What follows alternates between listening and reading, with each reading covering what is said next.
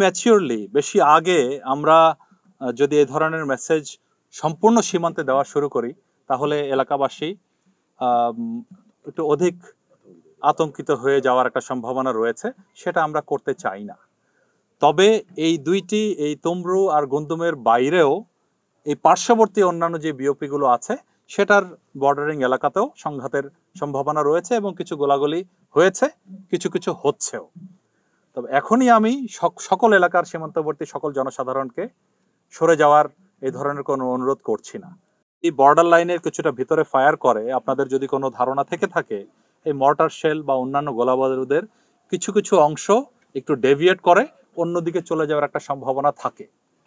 সেই সম্ভাবনাটুকু যেন জিরোতে চলে যায়, সেটাই আমরা নিশ্চিত করার চেষ্টা করছি। মায়ানমারের ডিফেন্স অ্যাটাশাকে ডেকেও আমি সেই ব্যাপারে বলেছি। আমাদের পররাষ্ট্র, মাননীয় পররাষ্ট্র মন্ত্রী মহোদয়ও সেই জিনিস রাষ্ট্রদূতকে বলেছেন। এই অবস্থায় এর চাইতে বেশি এই মুহূর্তে তো করা সম্ভব নয়।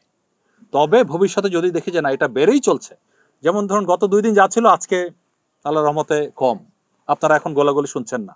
তো গত দুই দিন কিন্তু মুহুর্মুহু শোনা গেছে। সো কমছে। এটা যদি বাড়ে, আর আরও কীভাবে মানে আরও সজোরে যাতে প্রতিবাদ করে এটা বন্ধ করা যায়, সেটা আমরা নিশ্চিত করার চেষ্টা করব এবং আমাদের সরকার সে বিষয়ে চিন্তা রেখেছে। ইনশাল্লাহ সেটা নিশ্চিত করা সম্ভব হবে। যে আজকে আপনারা এই সঠিক সংবাদ পরিবেশনের জন্য বিভিন্ন বর্ডার এলাকায় বিভিন্ন ঝুঁকি নিয়ে গমন করছেন এবং সঠিক সংবাদ পরিবেশন করছেন। সেই জন্য আপনাদেরকে ধন্যবাদ জানাচ্ছি। তো আপনারা কম বেশি জানেন, গত কয়েকদিনে বিভিন্ন তথ্য যা পেয়েছেন, আপনারা বিভিন্ন নিউজে প্রচারণাও করেছেন। তো এই পর্যন্ত আমরা আমাদের আশ্রয় দিয়েছি দুইশো চৌষট্টি জন বিজিপি সদস্যকে, যারা আপনারা এই দেখেছেন যে এই স্কুলে এখানে তাদেরকে অ্যাকোমোডেট করা হয়েছে। তাদেরকে আমরা খাবার, বাসস্থান সব কিছু জোগাড় করে দিচ্ছি, নিরাপত্তাও দিচ্ছি। এবং এর মধ্যে আহত যারা ছিল, তাদেরকে চিকিৎসা প্রদানেরও ব্যবস্থা করেছি।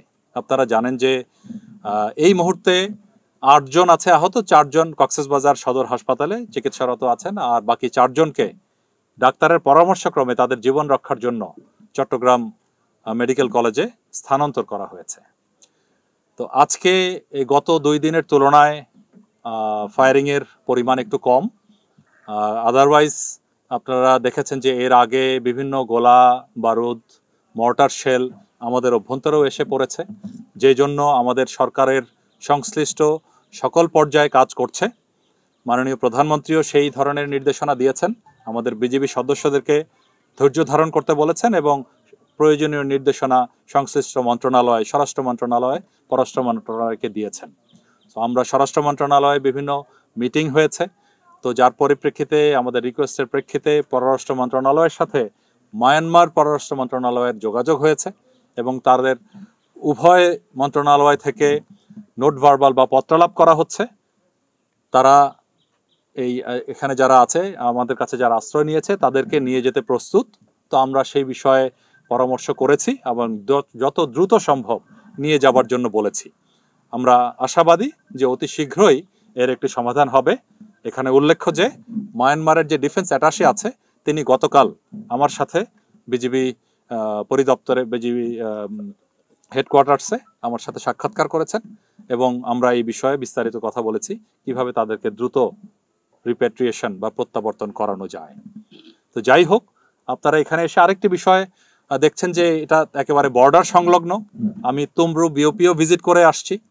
এখন এই যারা আশ্রয় নিয়েছে তাদেরকে দেখে গেলাম। এবং এর মধ্যে দুজন মহিলা, দুজন বাচ্চাও আছে। সো তাদের নিরাপত্তাটুকু নিশ্চিত করার দায়িত্ব আমরা মানবিক কারণে এবং একটা আন্তর্জাতিক রীতির কারণে, সুসম্পর্ক রাখার কারণে আমরা করছি।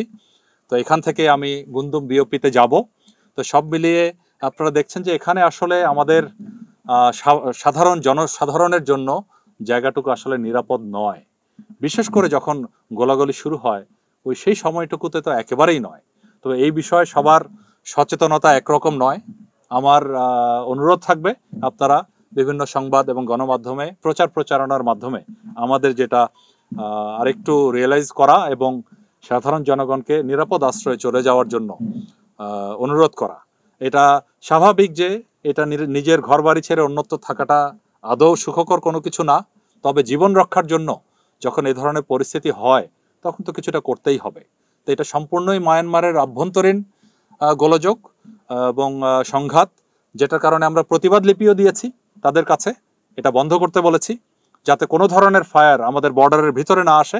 সেজন্য আপনারা দেখেছেন, গতকাল পররাষ্ট্র মন্ত্রণালয়ে মায়ানমারের রাষ্ট্রদূতকেও তলব করে কঠিনভাবে বার্তা দেওয়া হয়েছে। তো সব বিষয়ে আমরা আশাবাদী।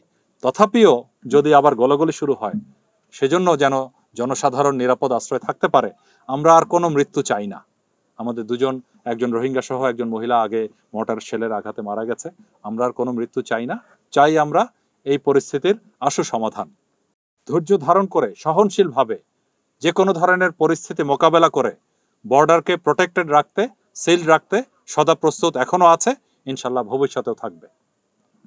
সবাই